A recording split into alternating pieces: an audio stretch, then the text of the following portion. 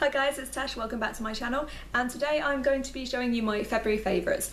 I don't really have that many products to show you so I wasn't really sure if I was going to do this video or not but I decided to anyway. I haven't really sat down and found the time to play around with many products or shop around for products so I just don't have that much to show. I'm going to show you a couple of products that I have purchased, um, not, not necessarily in February but throughout the last couple of months that I have been reaching for the most this month. So yeah, let's get started. So I've got a couple of makeup products, a couple of lip products, some nail products, and also some storage containers as well. My birthday I went to Ikea and I got a new desk and some Alex drawers. I know everyone's sick about hearing about the Alex drawers, but they are so good. I think there's a reason every YouTube makeup vlogger owns them and that's because they are so incredible for storing your makeup. They are deep, they go really far back and yeah, they're just perfect. So I managed to pick up some of those with my desk and the desk I got was like the Linnmon desk I think it's called. Um, don't quote me on that, but it's the big double desk. So one side I've got my computer and then the other side I've got kind of my makeup area as well. And it's great just having everything in the same place, so it just really helps me the out. The first products that I'm going to start off with are these Rimmel Provocalips. I've got more shades than this. I will be doing a lip swatch and review video very soon for you. Um, I've owned these for a couple of months, but these I pulled these two shades out of the collection in particular because they're the ones that I've reached for the most this month. So this one here is called Skinny Dipping. It looks really, really brown when swatched on my hand, but on my lips, it's actually just a really, it's that perfect kind of light brownish nude colour. I've got lipstick stains everywhere all over my hand. I have washed it. just doesn't want to come off. But yeah, so that's that. Um, these Provocalips are fantastic. I won't go too much into detail about these because I am going to have a lip swatch and review uh, video for them. But these lips, uh, these Provocalips are great. They are just a really beautiful, fully opaque lip stain.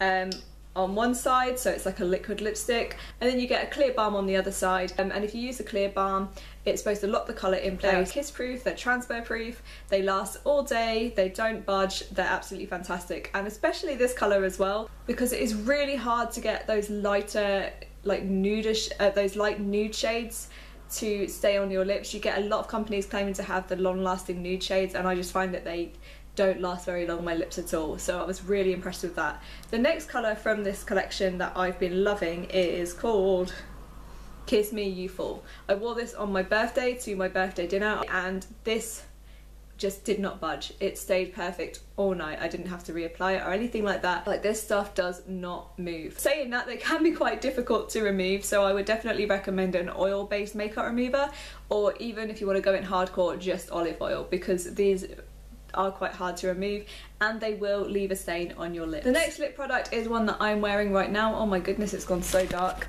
The next lip product is, yeah, the one that I'm wearing now and that is called um, Ravishing Rose and I love this colour so much. I'm wearing it on my lips right now. This is from the Maybelline Colour Sensational and it's from the Rebel Bloom collection. I, again, I will have a review and lip swatch video coming up for this collection. It might already be up. If it is, I'll link it down below. This is just a beautiful bright red colour. It's a lot more, it's not as opaque as the usual Colour Sensational lipstick. When have I got of theirs? Pleasure Me Red. That's much more opaque than this, but this is such a pretty colour. It's not as long lasting as Pleasure Me Red, but it's great for those people who maybe want to try red lipstick but are a bit scared to go full on opaque. And if you're looking for a way to wear red lipstick in the day maybe, I think this is a great one to go for because it's just that bit more sheerer sheer, sheer, shearer.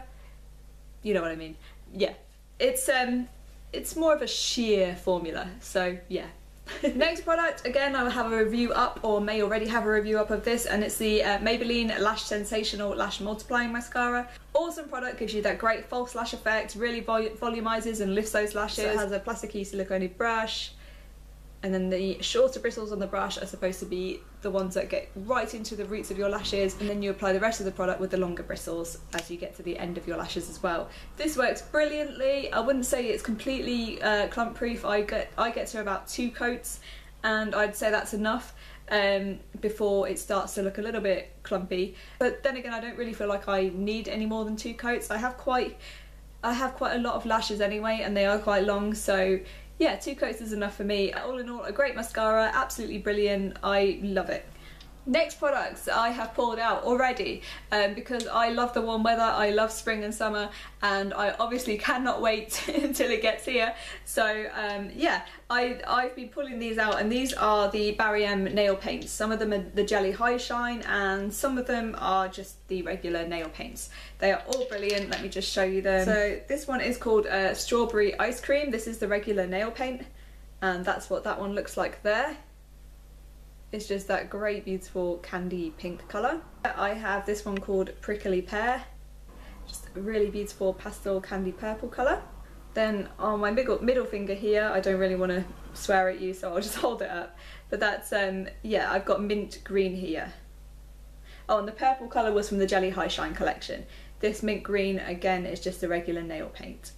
Then again from the Gelly Hi-Shine collection, I've just got this powder blue type colour. I think it's coming off darker on camera because of my lighting, but it's just stunning. And then this awesome peachy coral colour from the Gelly Hi-Shine collection is called Papaya, and that's on my little finger there. In all, these are great nail polishes. I love Barry nail paints. They are long lasting. I've worn these for about four days and none of them um, none of them have chipped. I am wearing the OPI chip resistant top coat. I'm not can't quite remember what it's called off the top of my head. But even with wearing that top coat, some nail polishes don't last as long as these and they are super cheap. Pretty much always on offer for a three for two. So yeah, I highly recommend these, especially the Jelly High Shines. They are brilliant and they have such a huge collection of colours so there'll be something for everybody. The next product I purchased with um, the money I got from my mum for my birthday and this is Viktor and Rolf Bonbon perfume. Oh, I love this stuff for some reason I'm such a perfume head. As soon as I go in and try perfume and I smell something I like, I have to repeatedly find an excuse to go to the shop to go and smell it and to spray it on myself until I buy it because I just become so obsessed with it. I'm so weird about perfume. Um, but yeah, this is the one that I got, which is the Viktor and Rolf Bonbon. How cute is that bottle? So from what the perfume shop says, this is supposed to smell kind of peachy, mandarin slices, orange slices and caramel. I definitely get the peach and caramel and the mandarin and quite a hefty dose of vanilla as well. So it is quite a fruity fragrance but it is almost like I guess bordering on the more gourmand fragrance as well because it really, I never know if I pronounce that right, gourmand, gourmand, gourmand.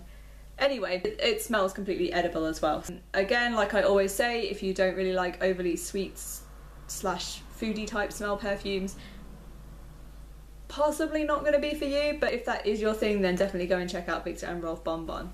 So the last two products are actually storage containers. I got these on my birthday. One I got from Ikea and one I got from Muji. So the storage container I got from Ikea is this. It's pretty huge. This actually fits really well in my bottom Alex drawer. And that's just this really cool, huge plastic container here.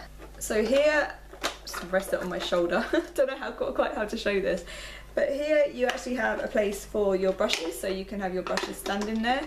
So I've just got some of my Real Techniques and Sigma, Sigma brushes standing in there. I've got like an eye cream standing in there. And then this section actually lifts up and then you have more storage. If I take it out, you can see you have more storage in the bottom there. The back here, it's got some lipstick holders, so I've got a lot of my Maybelline and my NYX lipsticks in there.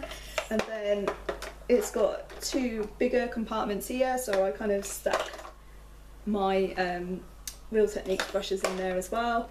And then in this section I've got all my little palettes like the Urban Decay Flush palettes, Naked palettes, uh, Sleek palettes as well. So yeah, this was, I think this was 15.99. It's just a really, really handy storage container to have. It just fits perfectly in those deeper Alex drawers towards the bottom. My next favourite are these little containers here from Muji. I went to the Muji shop in Birmingham and purchased these. I think these were about £1.97. They were under £2 anyway. So these are great for holding any face products. So in here I keep my highlighters, face powders, setting powders, some blushes. Th this container basically fits anything that's the size of say your mineralized skin finish or your MAC Studio Fix. And these are just great containers for under £2 and they're fantastic for keeping all your face products organised as well. So there you go guys, that was my monthly favourites, nice and short and sweet. Comment me below, let me know what you guys have been loving this last month and I shall see see you in my next video. Bye bye.